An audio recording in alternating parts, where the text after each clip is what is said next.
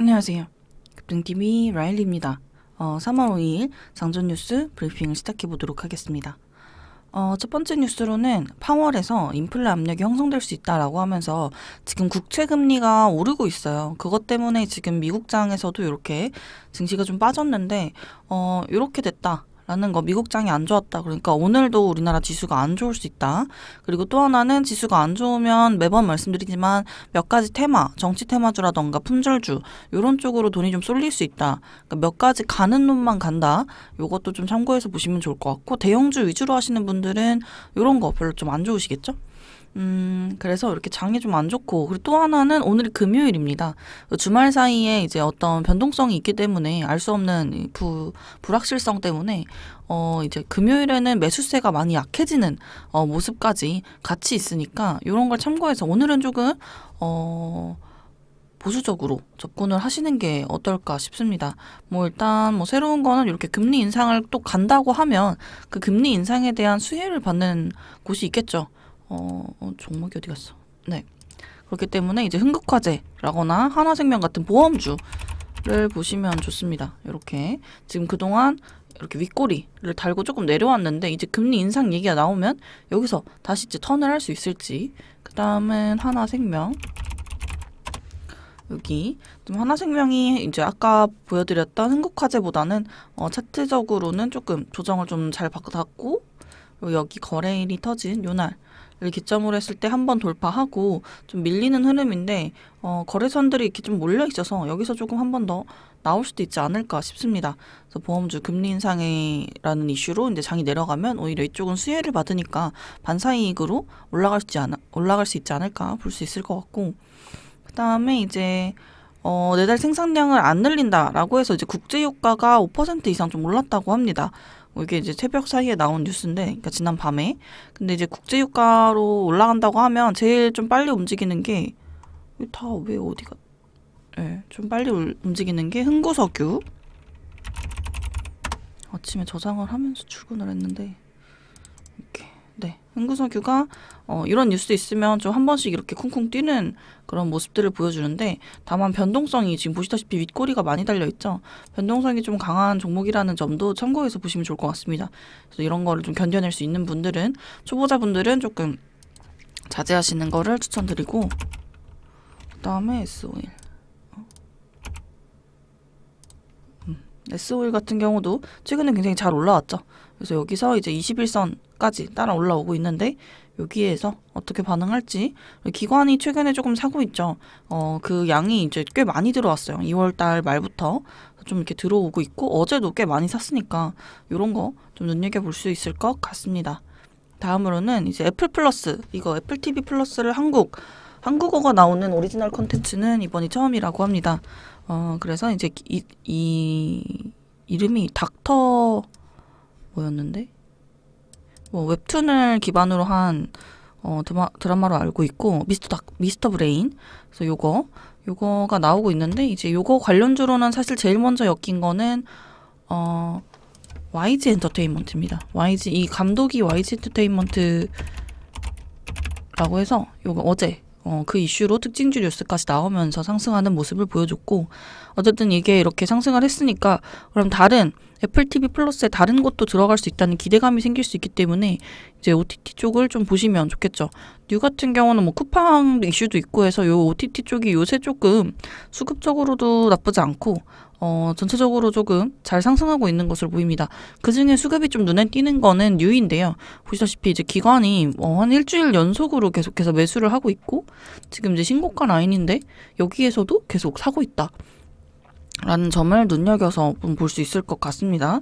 어, 웨이는 약간 단타 치듯이 들어왔다 팔고 들어왔다 팔고 하고 있는데도 불구하고 기관은 지금 거의 계속 사고 있는 게 이렇게 수급적으로 좀 느껴지는 종목이 아닌가 싶습니다.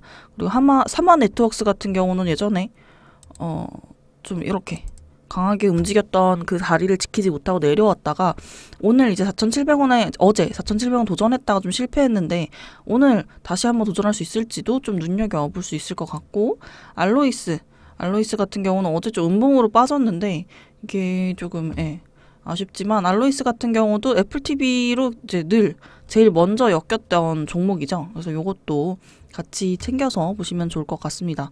그 다음 어, 로블록스가 매력적인 인수 대상으로 떠오를 것이다 라고 하는 뉴스가 있었고 메타버스가 이제 하루 정도 좀 시간이 지나서 눌림이 나왔으니까 보시면 좋을 것 같은데 어, 이렇게 상한가 자리를 지켜주는 게 좋다고 했는데 선익 시스템 같은 경우도 17,700원 여기를 잠깐 분봉상 보면 잠깐 도달을 하고 다시 이제 바로 회복하는 흐름을 보여줬습니다. 이걸 지킨다고 하는 건 아직 어, 이 자리를 이제 계속 유지할 거라는 얘기가 될 수도 있고 거래량이 많이 터졌음에도 불구하고 여기까지는 내려오지 않았다는 건 이제 좀 강하지 않나라고 볼 수 있을 것 같습니다. 비교해서 보자고 하면 M게임 같은 경우는 이렇게 살짝 깼죠. 그래서 깨고 다만 이제 3일선 올라왔으니까 여기서 어떻게 반응할지 3일선 부근에서 볼 수 있을 것 같고 이렇게 그래서 요거는 오늘 한 번 더 볼 수 있지 않을까 싶고요. 한빛소프트 역시 한번 상하가 가고 오히려 여기서는 이날은 대장을 못했죠. 어, 거래량이 엄청나게 터졌음에도 불구하고 대장은 못했으나 이쪽도 이렇게 조정 좀 잘 받은 케이스가 아닌가. 그래서 이거 뉴스가 뭐 조금 더 나온다라고 하면 장중에도 한 번 더 이슈가 받거나 만약에 이걸 깨고 내려간다 그러면 이제 손절하시면 됩니다. 그리고 마지막으로 어, 다날 핀테크 아이콘 간편 결제 어, 아이콘이 아니고 이제 아이, 네, 아이콘 간편 결제를 연내 지원하겠다라고 해서 이제 간편 결제 시스템을 이제 핀테크 쪽에서 이제 도입을 하겠다라고 하는 건데 뭐 대표적으로 당연히 다날이 있겠죠. 다날이 그동안 이렇게 조정을 잘 받아왔기 때문에 어 거래량이 없으면서 이렇게 조정 쭉 받고 어 이틀 전에는 지금 요 날이죠. 요날 지금 표시 드리는 어 3월 3일 수요일에는 기관 외인 양매수도 조금 들어왔다. 그래서 요렇게 이렇게 저는 이렇게 이평선들이 좀 모여 있는 걸 좋아하는 스타일인데 지금 좀 잘 모여 있는 게 아닌가 해서 이런 거 뉴스를 타고 또 갈 수 있을지 그리고 비트코인도 요새 조금 움직이고 있으니까 어, 천천히 조금 살펴보시면서 분할 매수 좀 해보시면 어떨까 싶네요. 만약에 깨고 내려간다면 손절하시고 어, 관련해서 이제 비트코인 관련주는 아니지만 디지털 화폐 관련주들이 요새 조정을 좀 이렇게 아까 보여드렸듯이 다날처럼 조정을 잘 받고 있습니다. 그래서 이것도 좀 같이 챙겨보시면 좋을 것 같고 오늘 이제 로지시스가 단일가에서 해제가 됩니다. 이렇게 이날 상한가 가고 이틀 상승을 한 다음 3일 동안 이제 단일가 거래가 됐는데 오늘 이제 풀리니까 로지시스 역시 여기서 어, 어떻게 움직일지 볼 수 있을 것 같고 그래서 이제 로지, 로지시스 돌아오면 뭐 K사인이라던가 KCS 움직이는 거 보시면 좋을 텐데 어 이거는 이제 단일가가 풀리니까 어, 관심 있게 보시라고 하신 하는 거고 어 한네트 역시 조정을 좀 잘 받고 있는 종목 그리고 KCS 역시 조정을 3일 동안 잘 음봉이지만 여기에서 계속 자리를 지켜주고 있다. 이 더 내려오지 않고 이 가격대가 진짜 딱 뭔가 이렇게 누가 여기서 이렇게 받쳐놓은 것처럼 어, 9천 원에서 이렇게 딱 받쳐져 있는 게 느껴지시는지 모르겠어요. 이렇게 딱 받쳐져 있죠. 그래서 여기 가격이 이제 오늘의 뭐 시가가 될 수 있을 것 같은데 여기서 어떻게 반응할지도 좀 관심 있게 보시면 좋을 것 같습니다. 그 눌림 패턴에서도 이제 수익이 좀 잘 날 수가 있고 어, 이런 거를 참고했으면 참고해 주시면 좋을 것 같네요. 그리고 또 하나가 이제 서울 옥션이 요새 좀 잘 나가고 있는데 네 이렇게 어, 최근에 여러 가지 뉴스들이 조금 있었죠. 그래서 서울 옥션 뭐 이정희 컬렉션을 이제 뭐 팔아서 상속세로 내야 된다라는 이슈도 있기 때문에 이런 이슈 있을 때마다 어, 서울 옥션이 조금씩 조금씩 반응을 한다라는 점 역시 참고해서 보시면 좋을 것 같네요. 그럼 오늘은 진짜 여기까지고 어, 마지막으로 한 번 더 말씀드립니다. 금요일이기 때문에 어, 조금 보수적으로 접근을 하시는 걸 음, 다시 한번 추천드립니다. 그럼 오늘은 여기까지고 어, 영상이 마음에 드셨다면 구독, 좋아요, 댓글, 알림 설정까지 꼭 한 번씩 부탁드립니다. 감사합니다. 라일리였습니다.